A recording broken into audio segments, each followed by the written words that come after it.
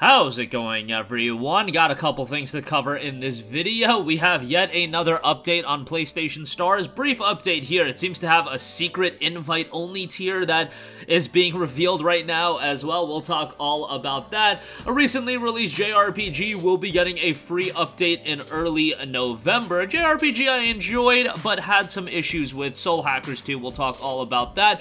Guilty Gear Strive is getting a free-to-play cross-platform play open beta test, which is set for October the 14th, and one of the beloved franchises of yesteryear. Could it be coming back? Crystal Dynamics has the opportunity to potentially do a new Legacy of Kain title, but they are rolling out a survey which you can fill out for yourself as far as Legacy of Kain is concerned, so we'll talk that at the end of this video. First of all, PlayStation Stars appears to have a secret invite-only Diamond tier. As noted on Push Square, the fifth tier, which is supposedly called Diamond, is referenced in images and animations hosted on the PlayStation website, along with a description that reads, and this is kind of wild. In an endless sea of stars, it seems like there's nowhere to hide, but you wouldn't be here if you let challenges like that stop you. Welcome to level 5. I have no idea what that entails, but it looks like there's another tier to PlayStation Stars. I imagine Stars as a whole is going to be something that is a little bit fluid in the sense that it's going to fluctuate offerings and what it exactly is over the coming weeks and months as they really try to pat down um, what exactly PlayStation Stars is ultimately going to be. I know there's been a lot of controversy regarding the customer support deal. Let's see it roll out over here stateside and ultimately what that is going to mean for the long term. Uh, the PlayStation Stars stateside rollout is very soon. It'll be happening October the 5th, so if you have any concern, if you have any wonder as far as what it's going to entail, if you live here in the States, you're going to get answers to all those questions very, very soon. Obviously, I think for most people, the most exciting thing is the fact that you're going to be able to accrue points, and then you can redeem those points to get PlayStation Wallet credit. I mean, even 5 to $10 of wallet credit can go a pretty long way with the billion plus sales that are ran on the PlayStation Store.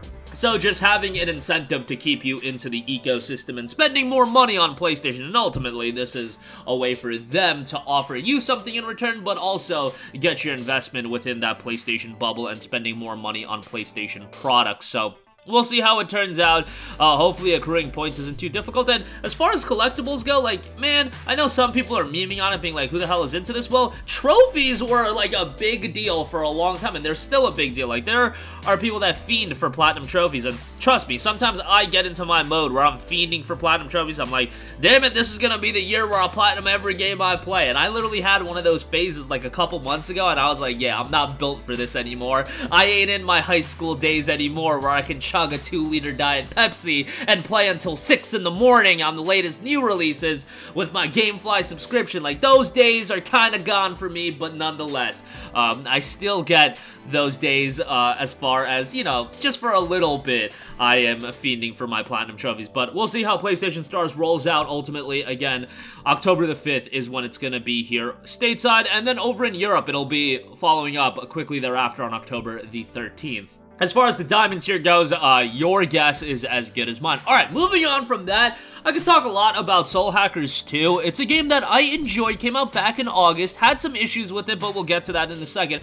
Atlus will be releasing a free update for Soul Hackers 2 in early November that'll be adding new content to the game and new functionality. A dash function added a dash function to Ringo's movement. In dungeons and fields, you can switch between normal and dash as you like with the addition of the dash function. The effect of the summoner skill, Assassin Stride, has been changed to become undetectable to enemies for a fixed distance, and then high-speed battle mode added a high-speed battle mode to battle. You can switch between normal and high speed as you like. On top of that, some adjustments have been added as well. Adjusted termination processing of loading screen tips to speed up load times, revised choice controls during soul level increase when selecting a shop from the city map. You will now fast travel directly to the inside of the shop. If you play the game, that's actually a notable fix to the game and will streamline the traversal in the game. Adjusted frequency of enemy appearances in dungeons.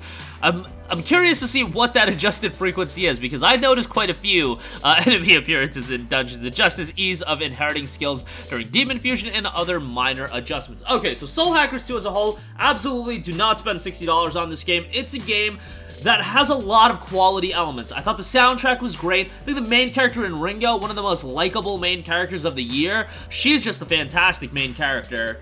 The rest of the cast is okay. Uh, I found Arrow to be likable, and the rest of the cast in general is pretty good. Um, there are some issues with the game from a gameplay standpoint. The dungeon design is just completely ridiculous sometimes and uh, really mundane at other times. That was probably the drawback of the game. The gameplay itself, standard turn-based affair, but some of the dungeon design really left a lot to be desired. Overall, I would say the game is pretty decent. If you're a fan of JRPGs, you'll end up enjoying the game. It's a lengthy game as well, and it could be pretty challenging on harder difficulties. So I would say, you know, if you can get it for 30 to $40, and by the way, it was recently available at $40 at a bunch of retailers, so, you know, you might have gotten it that way. I think $40, perfectly acceptable price. 60 is just a little high for me. Um, you know, 30 to 40 I think would be a great buy, and I think come Black Friday, you'll be able to get that regularly. Again, I really like the game. Uh, in a lot of areas, I thought narratively it was strong. I thought soundtrack was fantastic. I think Ringo, again, as a main character was great. Um, but again, some drawbacks as well that really hampered the overall experience. But uh, hopefully they keep Soul Hackers going because what I saw out of the game, uh, there was a lot of potential there. Alright, moving on from that, Guilty Gear Strive will be getting a free-to-play cross-play open beta test. This is set for October the 14th until October the 17th. Online multiplayer between PlayStation 5, PlayStation 4, and PC. With this uh, open beta test, you'll get all 21 characters, including all currently released downloadable content characters, tutorial mode, mission mode, survival mode, training mode, versus computer, versus two-player, uh, online match combo maker, digital figure, and gallery will all be available. Online multiplayer between players on the different PS4, PS5, and Steam platforms is possible. Online multiplayer is available without a PlayStation Plus subscription, so no Plus subscription required to even uh, try out the game. A network connection, obviously, is required, and uh, yeah, save data cannot be carried over to the main game, of course, and uh, yeah, Guilty Gear Strive was a very, very well-received fighting title. Uh, obviously, it's Arc System Works, and they've got some of the most stylistic presentation when it comes to a fighting game. Their games are just so slick in terms of visual style and uh, soundtrack-wise, Guilty Gear Strive is also pretty good. Obviously, this is more of a technical fighter. My days for these games are uh, kind of gone. The BlazBlue Calamity Trigger days for me can live in 2009, but uh, I can mess around with these games and have some fun. Guilty Gear Strive is currently available for PS5 and PS4 and PC, and a uh, Xbox Series and Xbox One release are planned for spring of 2023. Also will be hitting uh, Xbox Game Pass with that release, but free-to-play cross-platform network beta test, you can check that out. Lastly, I do want to note that Crystal Dynamics is hosting a survey that you can fill out for yourself, an in-depth survey in regard to a Legacy of Kain as an IP and how fans would like the series to make a comeback and just general thoughts on Legacy of Kain. I know Legacy of Kain is a franchise that so many people have a strong attachment towards. It's not a franchise I really grew up playing. I had a friend that had it on PS1 and I remember dabbling around with it. I played it uh, more recently on like PSP. Um, but yeah, it wasn't something I was super into, but man, whenever I talk about games that should get a remake and a remaster, like Legacy of Kain is right up there in the comment section and just generally speaking when I talk to people, like people loved Legacy of Kain. I know a lot of people wanted like Bluepoint to do a full-on remake of Legacy of Kain, but who knows? Crystal Dynamics, the world is their oyster now as far as what they can do in the future. I mean, they've got a lot of big projects that they could do, but Legacy of Kain is something that I think you know, absence makes the heart grow fonder, and Legacy of Kain has been gone for so long that I think if you do like a full-on remake or a new title, uh, I think it would do pretty well. And I'm not even saying you gotta do go, you know, full-on Bluepoint style Demon's Souls remake. I think if you just make an upgraded version, it doesn't have to have the biggest budget in the world. I think just off the name, as long as it's a decent game, uh, people will check it out. But and that's my two cents as far as somebody that wasn't, you know, crazy about Legacy of Kain. I have nothing against it, just when I was growing up, it was all about JRPGs in that era, and Mega Man, really. but, uh, and Spyro, and Spyro for sure. But nonetheless, that's gonna do it for me. Again, PlayStation Stars appears to have a secret invite-only diamond tier. We'll see how that turns out again October 5th for the launch of that. Soul Hackers 2 getting a free update in early November. Don't drop $60 on that game, but I did think it was a fairly decent JRPG. Guilty Gear Strive free-to-play cross-platform play open beta test is set for October 14th to the 17th.